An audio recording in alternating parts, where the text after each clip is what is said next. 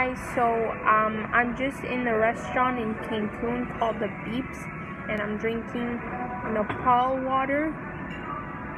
Mira, voy a pedir estos. Yo voy a pedir 100 uno. pesos. And ¿Quieren compartir uno conmigo?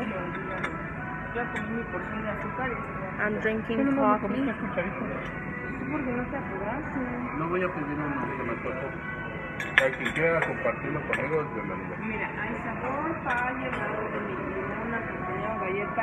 This is the name of the restaurant, and I ordered um, eggs, and my mom ordered eggs, and my dad also ordered eggs. So I ordered these green and red eggs, and my dad ordered this eggs right here. These ones, ah, Haciendo the Ay, tú me como si hubiera comido todo el vaso. Pintada la verga. Ah, no, el mío está más the patron. This one is called divorciadas, and yeah.